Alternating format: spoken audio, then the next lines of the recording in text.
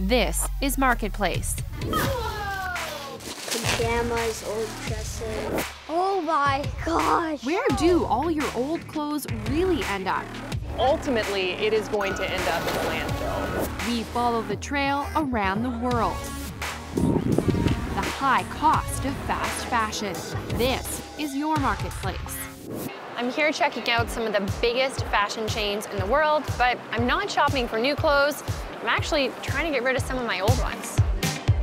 So these were my all-time favorite sweatpants from college. These, I washed them and they totally shrunk. These were also super cheap. This is just like an old t-shirt. It was black at one point in its life. Some retailers are on a mission. They want your unwanted clothes, and some are competing with charities for it. There's a new bin in town, and the message is clear. Don't throw old clothes in the garbage, dump them here.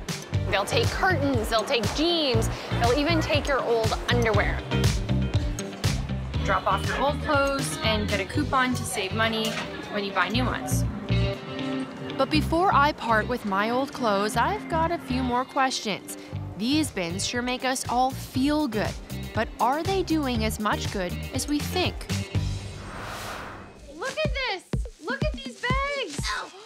Most of us are like the Bredens and the Palmas in Markham, Ontario. Somehow we end up with too many clothes. Emily, what's in here? Oh, Old clothes that are too small for me. They purge a few times a year, normally dropping their haul in a charity bin. Whoa! Stuff like these have like holes in them. This isn't just a pile of clothes, it's now a pile of textile waste. And we want to show the kids just how big the problem really is. Are you guys ready to go inside and see what happens to all those clothes that you donate? Yes. All right, let's go inside. Go on in, take a look. Whoa.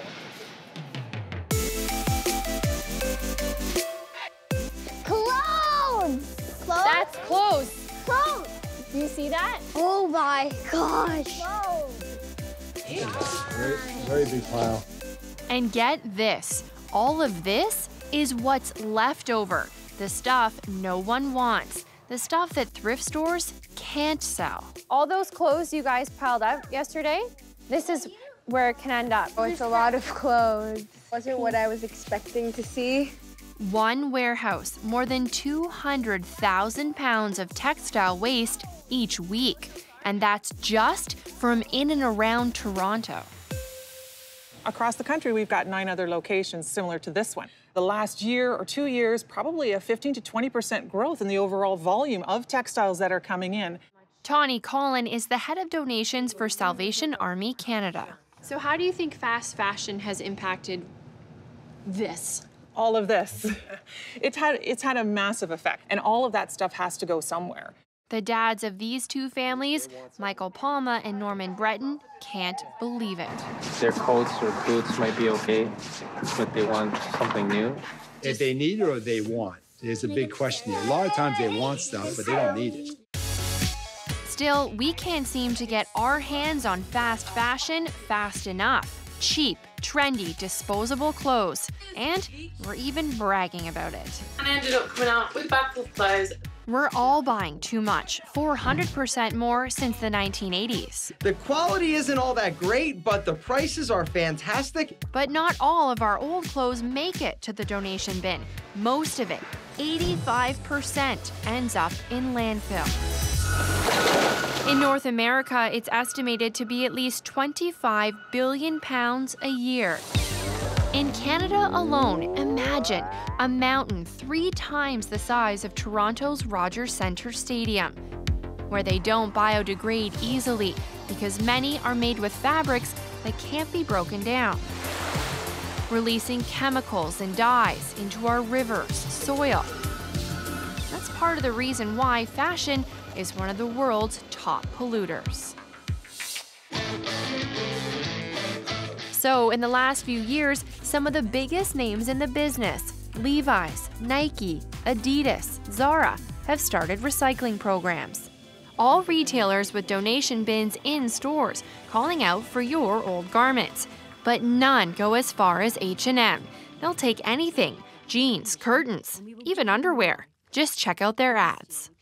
The thing that you never wore, this and this and that. The thing with the color that wasn't your color, bring it on. This is one of H&M's latest ad campaigns. Let's cut your jeans into pieces and make new jeans out of them. Cut your jeans into pieces and make new jeans out of them. With your help, we literally turn your old clothes into new garments. We literally turn your old clothes into new garments.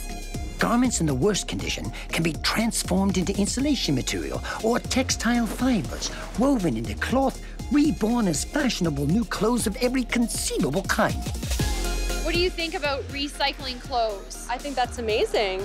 That's a great plan. And we're talking about recycling clothes. What does that make you think is happening to the stuff? I think maybe it's like you like refurbish the clothes and like get them to look new again. What do you think happens to that stuff Does it when get you put it? recycled to make new clothes from the old clothes? Let's shred it into fibers and stitch it into something new. The only thing we will not do is waste it. Bold recycling claims. They sound great, but are they? Really? Large electronic devices such as laptop computers must be stored at this time. To try to find out, we head to New York City, one of the fashion capitals of the world. With jackets, is you always have to check the lining. To meet Elizabeth Cline, an anti fast fashion crusader. Because of what she knows, she only wears used clothes. It's made her a pro at assessing cast offs. On a coat, the first thing you would do is like make sure The zippers, zippers work. especially fast fashion, like a lot of the fasteners will just break and chip really quickly. We show her H&M's marketing and ask her what she thinks about making new clothes out of your old ones. Let's shred it into fibers and stitch it into something new. The reality is that currently only about 1% of clothing is actually recycled in the very literal sense of the word. 1%. 1%. 1% is Yeah. recycled. If you're talking about recycling in terms of taking fibers and breaking them down and turning them back into new fibers, it's 1%. Why is it so hard to just take my old shirt and turn it into a new one? Why can't you just do that? A lot of our clothes are made out of blended fibers, so um, you know maybe this is acrylic and wool and cotton mixed together. Maybe my tights are cotton and elastane. That makes it very difficult to recycle. The other challenge is that when you recycle cotton and wool, it um, diminishes the quality of that material. So it weakens the cotton and wool strand and gives you a lesser product. Bottom line, the technology just isn't there yet. It's way too expensive and too time consuming to make new clothes from old ones. There's also a more skeptical side of me that knows that the reason why H&M is focusing on textile recycling is because it's an easy sustainability win for them. It doesn't involve them changing their production model at all uh, to collect clothes and make sure that they get a second life. it doesn't make the fast fashion system any more sustainable. Experts agree fast fashion needs to change if we really want to make a difference. Remember when fashion had four seasons winter, spring, summer, and fall? Now, the trends change almost every day. Here's how the Swedish clothing giant CEO explains it. We have new garments coming into the stores uh, almost every day. So if you go to an H&M store today and come back two days later, you will always find something new. H&M salespeople tell us new clothes come in every Monday, Wednesday, Friday, and Sunday. That works out to half a billion products a year. And it's why H&M's recycling campaign makes Claudia Marsales so mad. It really is a, a form of, of greenwashing. She's the head of Markham, Ontario's waste programs, one of the few Canadian cities to actually ban textiles from landfills. In order for the fast fashion outlets to recycle what they make, it would take 12 years to recycle what they sell in 48 hours. Like it's just, it's just, so that what sort of tells me it's really more about foot traffic marketing, greenwashing, than about really addressing the, the broken business model of fast fashion. We ask H&M to come on camera and talk about their recycling program. they decline, assuring us they don't want to encourage a throwaway attitude. Their clothes are good quality and made to last. And they are working towards a business model where eventually all their clothes can be recycled. At least they're trying. Yes, uh, well, but they're, they're cause of the problem. So fast fashion retailers, their business model is the problem. They're making too much, they're selling it too cheap, it's disposable clothing. Doing a bit of back end recycling and a bit of commercials really doesn't address that issue. And ask some customers, one of the things they love most about the program, it's the discount, that incentive to keep buying.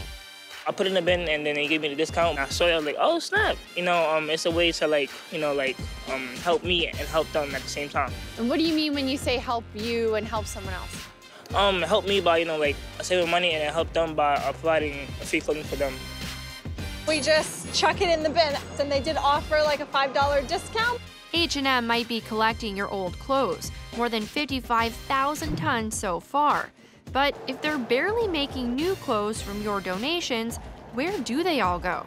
These shoppers have a theory.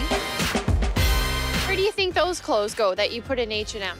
Um, they probably go to like people who need them, probably like shelters or like other places that use the clothes. Probably give it for free or something to like the people that need it.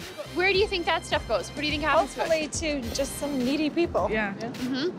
Um, still want to be fashionable. Many of us think our old clothes are given to the less fortunate. Wrong. And maybe you're telling yourself that to feel better about buying more too. Well, Cline coined a term for this. What's the clothing deficit myth? so the clothing deficit myth is um, the idea that when we give clothes to charity, they're going to go to someone locally in our community in need. Um, but in the era of fast fashion, um, there's far more unwanted clothes than there are people in need.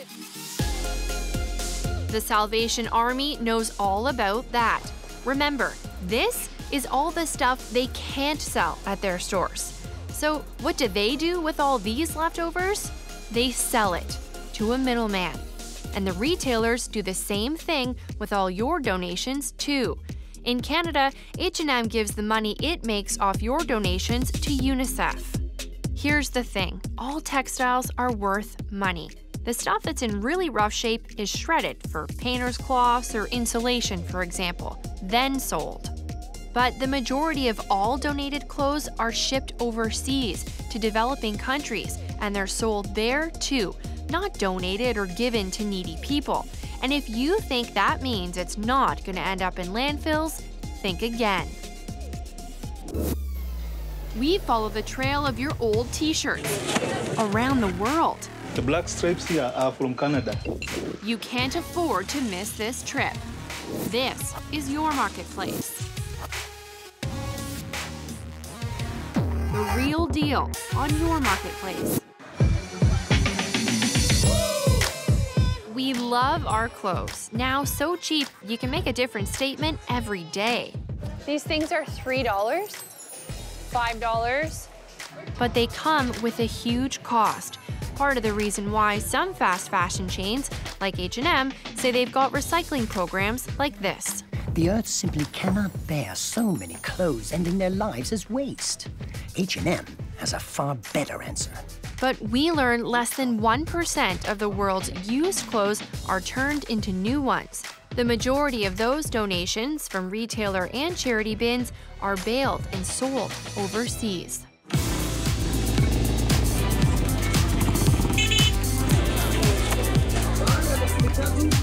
This is Nairobi, Kenya, the country at the top of the list when it comes to buying your old clothes. Kenya is one of Canada's best customers. In a given year, they buy more than $20 million worth of our old clothes. All the rest with the black stripes. The black stripes here are from Canada. These are a variety of kids' clothing. This one is a jacket, ladies' t-shirts. Mayina Andrew is a used clothing importer. People from Canada and America, they are actually a bit uh, huge. Scenes like this aren't isolated. you'll see them all over Africa, South and Central America. A lot of this is stuff Canadians donated for free, only for it to be sold here for profit to vendors like Alice Nyansorora Anunda, who brings it to her local market. They call the clothes Mitumba.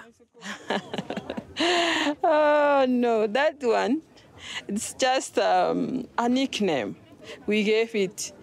Tumba means old in our culture. Nearly 13,000 kilometers away.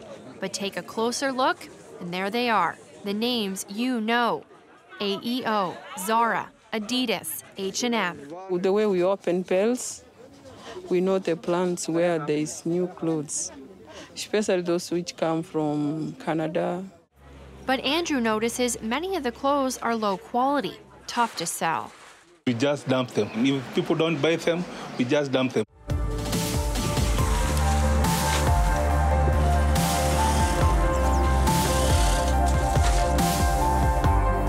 They do go in the piles of garbage. Very many of them. He says this happens regularly, right behind the market, discarding and burning clothes Canadians don't want, and neither do Kenyans. Sometimes they pack even very old items. They can even pack items that are not even good, and they, they end up dumping them in, in Africa or in Kenya.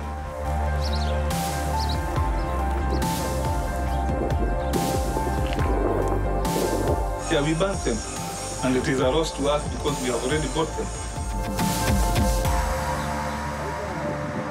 All those popular brands in the crowded markets, Elizabeth Cline has seen them too. She's been to Kenya. There are a lot of different companies around the world that are working on textile recycling in the truest sense of the word, but it's really in the in the very early stages, and whether it stays in the United States or if it ends up in Africa. Ultimately, it is going to end up in the landfill. We tell H&M about this Kenyan market and all the fires. They say its middleman, ICO, which handles pickup and distribution of their bins, has really high standards. But they are still working on building a better tracking system so this doesn't keep happening.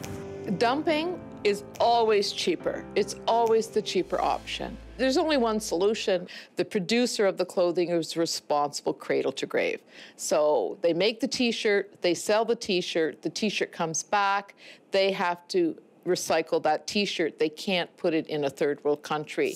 As far as South Africa is concerned, we banned second-hand clothing. When a country survives on second-hand things, second-hand clothes, it means there's something wrong with that system. Threatening the survival of the local textiles industry. And now many of those countries are fighting back. East African countries sent the world a message recently. They don't want our hand-me-downs and tried to ban them. Their government said it was destroying their own textile market. Second-hand clothes are quite cheap and any manufactured uh, textile would not be able to compete with them. And despite everything you just watched, Cline says H&M Group is a front runner in sustainability efforts. Compared to other brands, they are leaders. I don't know what that says about the rest of the fashion industry, that a fast fashion chain is at the top of that list. Just know that your textile waste is an environmental issue. Textile waste to landfills is one of the fastest growing categories of waste, and it's such an easy thing to do something about. So what should you do with all your old clothes? The answer's coming right up. Do you have a story you want us to investigate? Write to us, marketplace at cbc.ca. The high cost of fashion on your marketplace. Do you ever impulse buy? Absolutely. What was the last thing you bought that now you see and you're like, what was I thinking? Clothing, always.